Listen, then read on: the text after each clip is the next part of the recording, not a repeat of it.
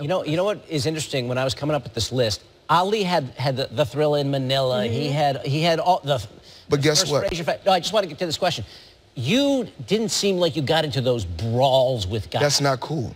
That's not cool. What we what I'm here to teach fighters is this: the name of the game is to hit and not get hit. Mm. It's not about taking punishment.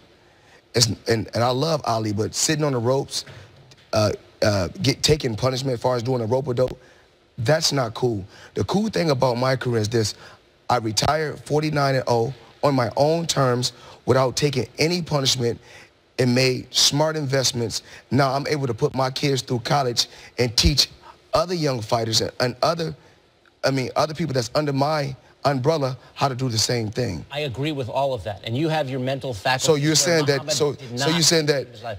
No, my for me to be known as the best, I have to be in a knockout, drag-out fight, or what thing is this? I can make the uh, the extraordinary look ordinary. That's what's so great about my career. That's a valid point. My question to you was going to be, what was your greatest moment in the ring? Um, every fight played a major key. Every fight played a major key, and number 48 was the most important one, mm. the Manny Pacquiao fight.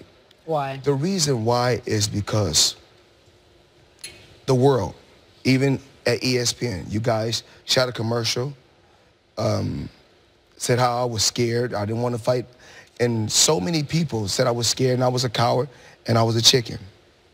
But when it's all said and done, I was the smartest one. I walked in there, and in 30 minutes, I made 300 million.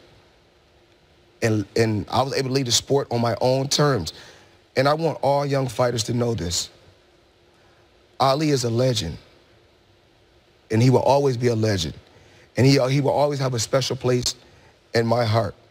But when we talk about the sweet science of boxing and being very, very sharp, the thing is this. You guys want to get in this sport and take less punishment as possible, but get a big reward and leave the game on your own terms and make smart investments. And you did it. You absolutely pulled it That's off. what boxing is about. Because it's crazy that when Ali was fighting, the world hated him. Mm, of course. Once he, he took a lot of punishment and then he couldn't walk or talk anymore, they loved him.